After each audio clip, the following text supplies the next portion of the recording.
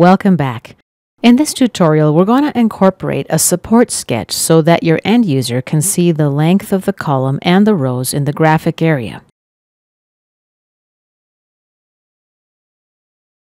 So let's just reorient our model and right-click New Sketch.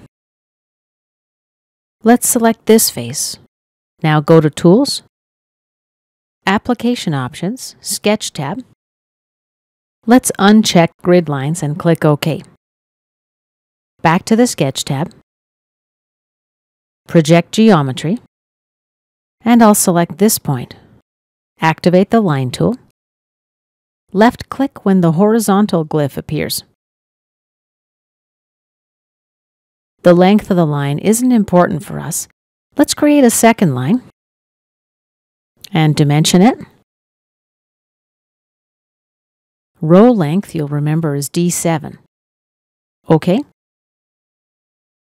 The column length is D8. Click OK.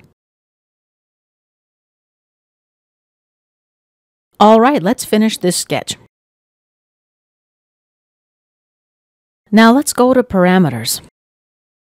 For D7, I'll name it sketch underscore row underscore length. Let's rename parameter D8 also. I'll call it sketch column length.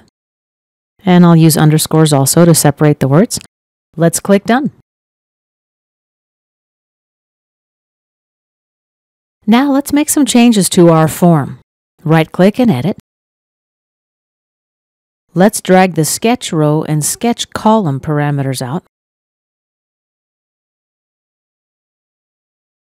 Let's rename these parameters. Actual row length and actual column length.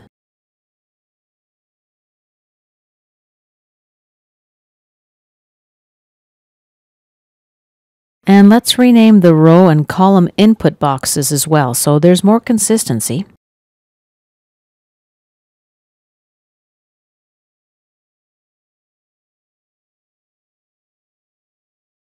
We'll make both of these read-only also.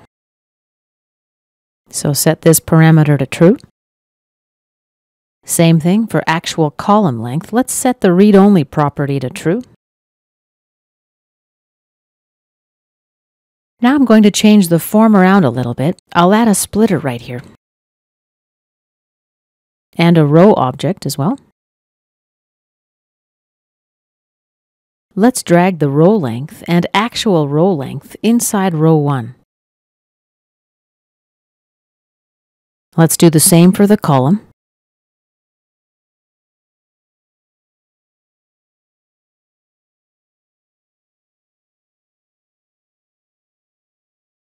And here's the column length. We'll put it on top.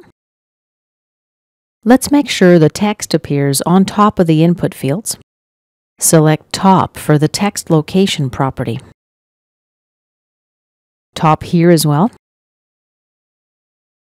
And last one, Top. Okay, let's close the form editor and go ahead and write some code. Double click on the rule to launch the editing mode. Let's select the sketch row length parameter. Double click on it to insert it in the code. Now space equals space. Right now, I'm just going to write the equation and then afterwards explain what's going on. Okay, so space multiplication space, open and close parentheses. Here I'll copy and paste the red cube dimension. Space plus space, distance between rows. Paste that in.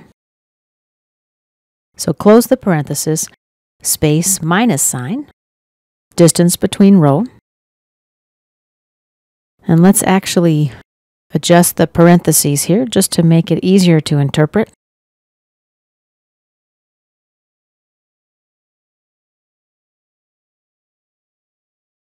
Sketch column length, space, equal sign space, open and close our parentheses. Let's copy and paste column count. multiplied by. Now let's bring in the red cube dimension within those parentheses, plus the distance between columns minus the distance between columns. Okay, let me interpret this formula.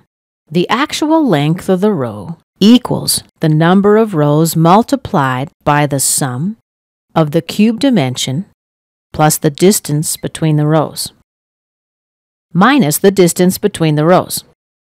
So basically, if you have two instances, you only have one distance between the two cubes. Of course, this sum can be replaced with a row spacing parameter. Let's click OK and let's see how our algorithm works so far. First, let's change the cube dimension. Let's say 22 millimeters. Tab to register, click Apply. Now the distance between cubes, let's say 5 millimeters. Tab and Apply. The row length, 70 millimeters. Apply. Let's adjust the hole diameter now by clicking this button. And here's our message box. Click OK. So far, it seems that everything's working just fine.